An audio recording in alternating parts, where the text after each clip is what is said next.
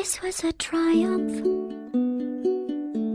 I'm making a note here, huge success.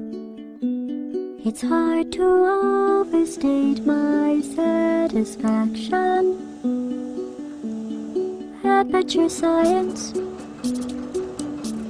We do what we must because we can.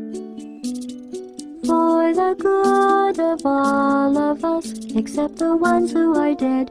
But there's no sense crying over every mistake. You just keep on trying till you run out of cake. And the science gets done, and you make a neat plan for the people